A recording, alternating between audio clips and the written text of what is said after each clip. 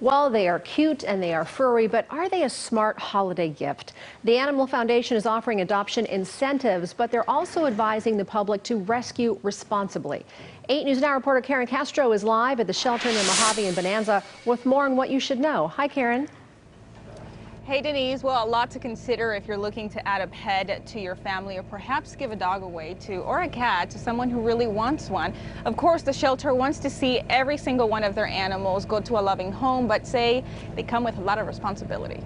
A busy kickoff to their holiday promotion. Cats and dogs six months and older are free through December 31st at the Animal Foundation. We have stockings um, full of toys already for uh, the other dogs. We're going to get some stockings full of dog toys for this one too and some treats. Paul? Anthony Gerardo and his wife are adding a third dog to their family just in time for Christmas. It all worked out really well because I, I promised her we could get another dog.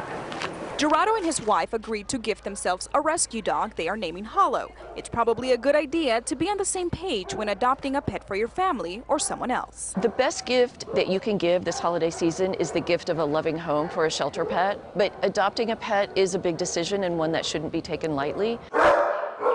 As far as return rates, Kelly Leahy with the Animal Foundation says it doesn't increase with any of the promotions they offer. There's actually research that shows that free promotions work just as well as uh, adopting a pet for a fee.